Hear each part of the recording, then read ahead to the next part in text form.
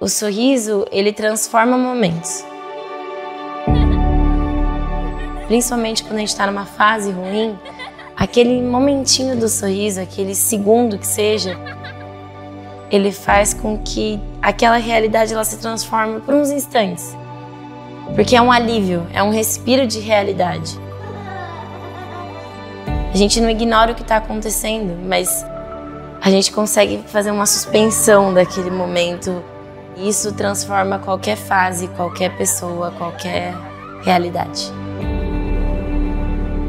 Mas existem alguns momentos da vida, momentos difíceis, em que os nossos sorrisos são tirados de nós.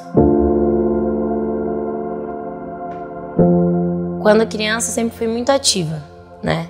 Eu gostava muito de brincar mesmo, assim, correr, pular, andar de bicicleta, nadar. Eu dançava.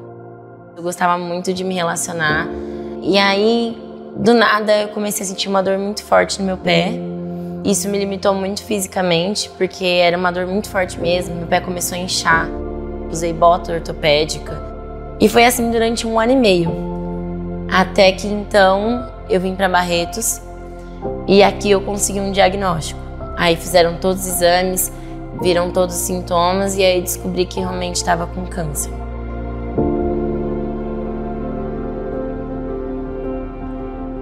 Hospital de Amor é um lugar muito diferente, sim. Não é todo lugar que tem o carinho e o contato que tem aqui. Eles sempre foram muito acolhedores comigo desde que eu cheguei até hoje quando eu preciso fazer acompanhamentos. As pessoas elas são muito humanas e elas têm muito carinho assim.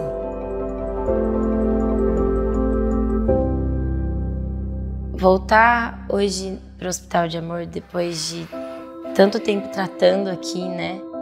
Eu lembro de todos os funcionários, das, dos médicos, das enfermeiras, dos palhaços, das pessoas que trabalharam aqui e cuidaram de mim. E sempre foi com tanto carinho, tanto afeto, tanta dedicação que eu quis poder estar nesse lugar também para ter isso como minha missão e poder retribuir nem que seja um por cento desse carinho, desse afeto, dessa dedicação ao outro.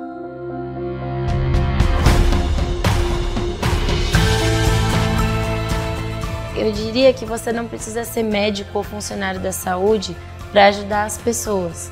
Basta você incentivar, apoiar as instituições que têm essas pessoas que têm esse dom, como o Hospital de Amor, que foi onde eu tratei, e aí você tem a possibilidade de criar novos sorrisos, de construir novas histórias.